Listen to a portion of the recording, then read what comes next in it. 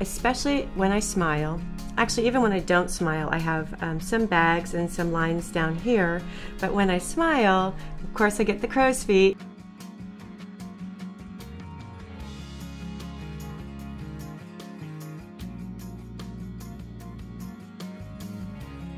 Of course, at age 50 and with sun exposure, I'm always looking at having a little bit less wrinkles, especially around my eyes. And these little bunny lines, I just can't do anything about. So the, the smile lines that go down the front of my nose there. I love the product. It makes my skin feel beautiful and I feel more radiantly beautiful when I'm using it. Compared to other things, usually I don't notice much benefit to many of the other products I've used. However, this one for me was noticeably different in using the product in that I could see the results.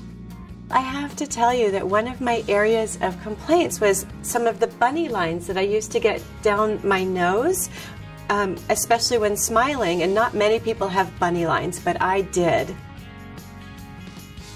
My experience was very positive.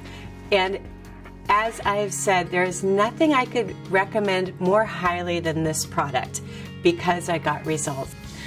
Suzanne was one of my clients, and I had her throughout the case of the study, and her skin definitely was brighter, clearer, tighter. She seemed very happy with the product. And it made me feel more beautiful, my skin more vibrant, and I would recommend it to anyone.